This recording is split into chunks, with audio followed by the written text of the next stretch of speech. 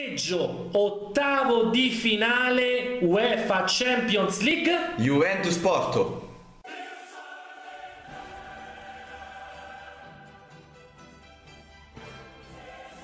Ciao Marcello, ciao a tutti i fratelli e sorelle juventinazzi di Top Land da parte del vostro postman ed ovviamente dell'unico, l'unico, il solo talismano della UEFA Champions League, il grande Andrea, qui con me avevamo promesso il video per commentare il sorteggio di oggi delle 12 da, da, e l'urna di Lyon, caro Andrea, ci ha designato il porto. Ce ne andiamo all'estadio Dodragao, uno degli stadi penso più belli Beh. che ci stanno in Europa. Quindi, quindi, allora noi Caro Marcello, snoccioliamo qualche statistica eh, che adesso vi dice qui il caro Andrea ehm, e poi facciamo le considerazioni finali. Vai Andrea. E allora il Porto è una squadra molto giovane, una squadra che a mio parere io avendola vista anche con la Roma comunque organizzata che corrono tutti e tecnicamente non male visto che comunque tutti ne parlano male. Esatto. Non è, non esatto, è assolutamente. Esatto. Da... Allora, era nella pletora di squadre certo, che noi ovvio. speravamo di affrontare, sì, di però è una squadra ah, che, va presa, che, va presa, con le pinze. Da non sottovalutare. Esatto. Comunque, secondi in classifica in Portogallo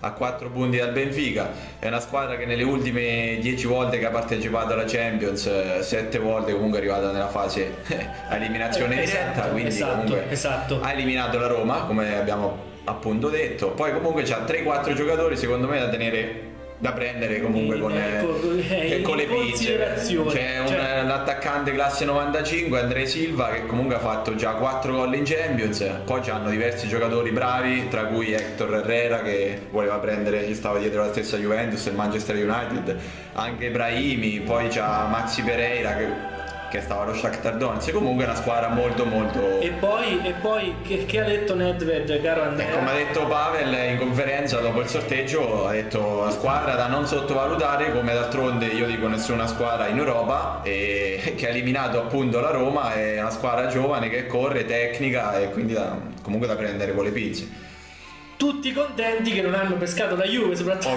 soprattutto perché no allora noi caro Marcello eh, noi chiaramente facciamo un grande in bocca al lupo al Napoli che ha pescato la squadra campione in carica. Io penso che Napoli Real Madrid al San Paolo sarà uno spettacolo uno spettacolo per chi ama il calcio perché noi prima di tutto caro Andrea siamo sportivi e siamo rispettosi delle altre compagini soprattutto se sono italiane. Poi, caro Andrea, sta il rovescio della medaglia. Ah, perché? perché sul primo, no, secondo posto, no? Ce l'hanno menata fin da prima dei Juventus fino a Mozzagavia. E a questo punto essere arrivati primi è convenuto eh, Andrea qualcuno perché intanto è, qualcuno addirittura diceva perdete la partita in casa con la Dinamo perché? Senza far nomi tipo tipo, certo tipo pistocchi tipo pistocchi. Comunque comunque. Allora caro Marcello noi ti salutiamo Andrea lo rivedremo adesso il 22 di febbraio quando vi manderemo la nostra preview, consueta. Se ci sarà qualche altra occasione sarà sempre qui presente. Ovviamente eh, la Champions per noi continua. Vi rimandiamo alla preview di Porto Juve e ovviamente come sempre fino alla fine Vamos Juve!